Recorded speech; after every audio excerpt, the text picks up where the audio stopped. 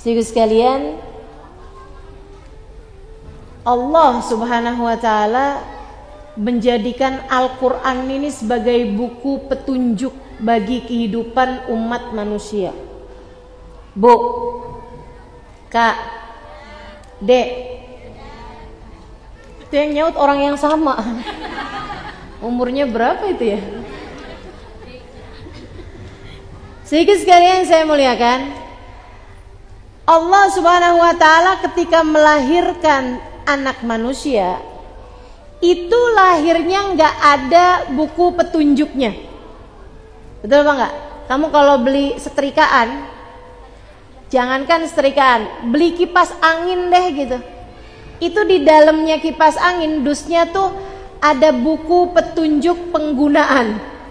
Betul nggak? Ada buku petunjuknya kan? Di set, disetrumin, begitu kan ya? Nggak boleh deket-deket sama api, ya. Voltasenya sekian, itu ada petunjuknya gitu.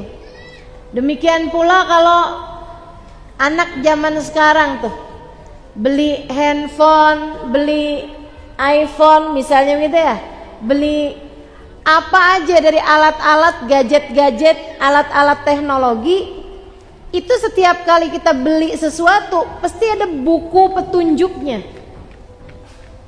Yang kalau dilaksanakan sesuai dengan petunjuk penggunaannya, hasilnya jadi bagus.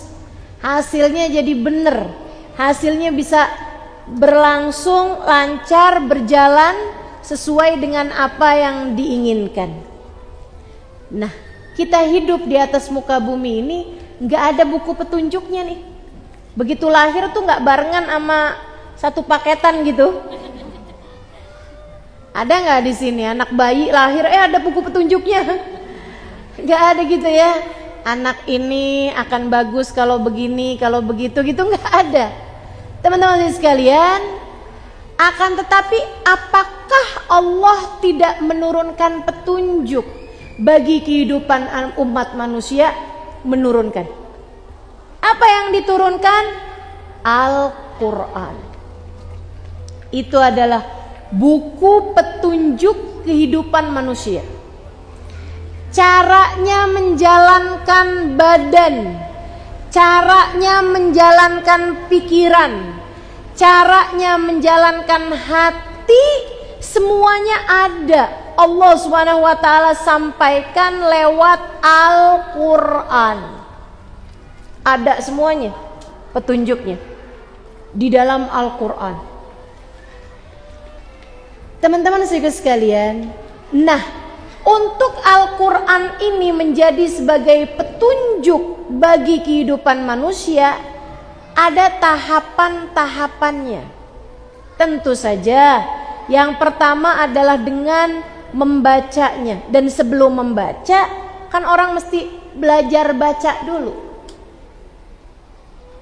dibaca. Sebelum dibaca belajar caranya baca. Jadi sekalian belajar baca sampai bisa baca habisnya bisa baca selalu dibaca. Tapi hak Al-Quran sebagai buku petunjuk itu tidak cukup hanya dengan membacanya.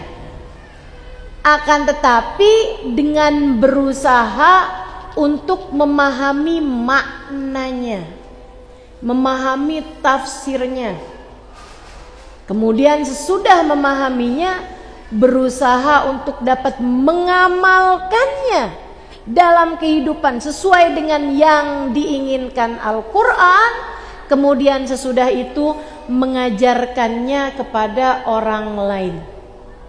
Nah, ini nih. Ini haknya Al-Qur'an. Baca, pahami, ajarkan. Baca, pahami, ajarkan. Nah, dalam rangka membaca itu juga orang berbagai macam tingkatannya termasuk di antaranya ada orang-orang yang tak hanya membaca akan tetapi juga menghafalkan Al-Quran mereka adalah para penjaga-penjaga Al-Qur'an. A'udzu billahi minasyaitonir rajim. Inna nahnu nazzalna dzikra wa inna lahu lahafidun. Sesungguhnya kamilah yang menurunkan Al-Qur'an dan kamilah sendiri yang akan menjaga Al-Qur'an tersebut. Sehingga sekalian, ada beberapa kitab samawi yang Allah Subhanahu wa taala turunkan dari sisinya. Ada Zabur, ada Taurat, ada Injil, ada suhufnya Nabi Ibrahim, ada ada suhufnya Nabi Allah Musa alaihissalam. Akan tetapi termasuk juga ada Al-Qur'an. Akan tetapi tidak ada yang dijanjikan terjaganya terjaganya sampai akhir zaman selain daripada Al-Quran. Karenanya nih, kitab-kitab samawi yang lain-lain, nah itu tidak jelas teks aslinya yang seperti apa yang belum diubah-ubah.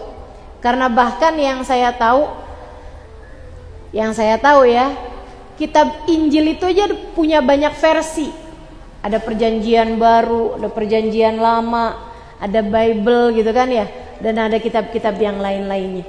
Yang mana nih yang asli yang diturunkan kepada Nabi Allah uh, Isa alaihi salam? Nah, itu nggak jelas teksnya gitu. Kenapa begitu?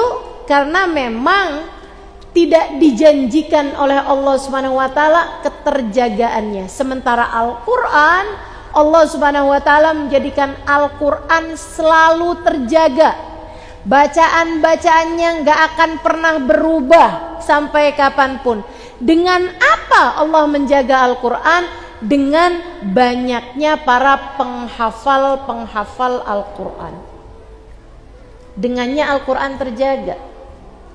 Bu, kayak gini deh. Nih ibu-ibu nih kan, banyak yang nggak hafal Quran bu ya. Kalau adik-adik nih kan banyak yang lagi menghafal Al-Quran. Tapi ibu-ibu nih kan Walaupun gak hafal Al-Quran, saya yakin 100% ibu-ibu hafal surat Al-Fatihah. Betul gak? Nih, kalau misalnya ada orang baca begini nih. A'udzubillahiminasyaitonirrajim. Bismillahirrahmanirrahim. Alhamdulillahi Rabbil Alamin. Ar-Rahmanil Ghafur. Maliki Yawmiddin. Iyaka na'budu wa iyaka nasta'in. Ada yang salah gak? Mana yang salah? Al-Ghafur. Mestinya yang benar? Ar-Rahman Ar-Rahim. Kenapa ibu-ibu tahu tuh ada yang salah? Karena ibu-ibu hafal kalau ibu-ibu nggak hafal nih misalnya gitu, saya baca ayat-ayat yang ibu-ibu nggak hafal. Tentu ibu-ibu nggak tahu yang mana dia yang salah gitu. Betul apa nggak bu?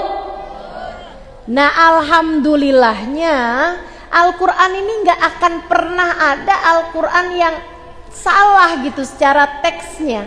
Kenapa kayak begitu? Karena yang hafal Al-Quran di atas muka bumi ini ibu ibu sekalian banyak banget. Ribuan bahkan bisa jadi jutaan.